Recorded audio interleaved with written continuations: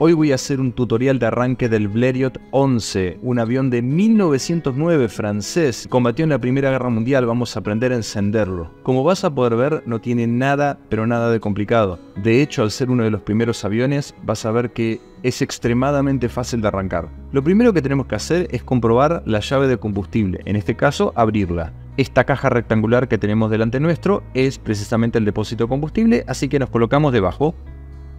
Ahí está. Y abrimos la llave. Listo. Acá podés ver esta barrita que indica el nivel de combustible. Luego en segundo lugar vamos a la llave de ignición, que sería esta de acá.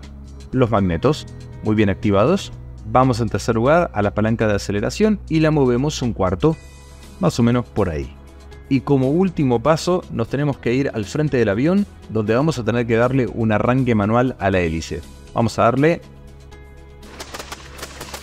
eso. Ahí arrancó, mira. Y listo, ya estaríamos en condiciones de arrancar. Así, ese sonido espantoso que estás escuchando es el sonido real del motor. Y antes de despegar, un dato curioso, este avión no tiene flaps, se controla, fíjate bien, mira, ¿eh? estoy moviendo los pedales que están sujetando con unos cables el ala trasera, que es lo que se mueve. Por lo tanto, el despegue es bastante, bastante difícil. Vamos a intentarlo. Quitamos los frenos y vamos a a acelerar lentamente. Ahí nos estamos moviendo. Es difícil, es difícil. Pero eso sí, despega a la primera. Mira, ya se está elevando, ¿eh?